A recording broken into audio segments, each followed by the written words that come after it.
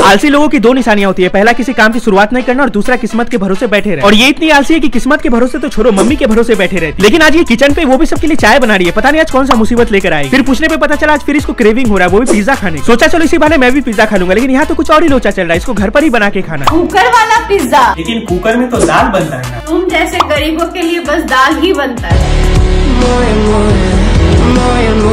बताओ, दो चार दिन शहर में पढ़कर क्या नहीं आ गए? यहाँ पे आके हीरोइन बन रहे छोड़ कुकर वाला पिज्जा बनाने की तैयारी करते हैं, जिसके लिए baking powder pizza sauce cheese और एक चिली फ्लेक्स लगे भाई साहब चार सामान के दो सौ पचास रुपए हुए। बताओ, इतने में दो पिज्जा डोमिनोज के मिल जाते वैसे ये पिज्जा घर पर पहली बार बना रही है। अगर आप लोग भी पिज्जा बनाना चाहते हो तो ये वाला रेसिपी देखो, बहुत ईजी तो पहले मैदा में नमक, चीनी बेकिंग पाउडर बटर और पानी मिलाकर मिक्स करके गोल कर उसके बाद ये हथियार से छेद करके पिज्जा सॉस मिलाकर इस पर शिमला मिर्च और ऑनियन बोले तो प्याज रख। बस फिर क्या इसमें चीज़ डालकर कुकर में बीस मिनट के लिए छोड़ दे। लो, बन गया कुकर वाला पिज्जा वैसे मुझे तो पिज्जा सही लगा, लेकिन मम्मी को अच्छा रोटी सब्ज़ी बना देती। कम से कम रात में बनाना तो नहीं पड़ता।